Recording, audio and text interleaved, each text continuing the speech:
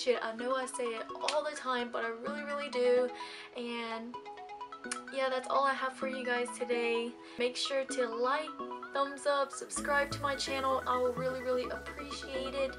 Yeah, that's it for today's video. I really hope you all have a great day. Bye!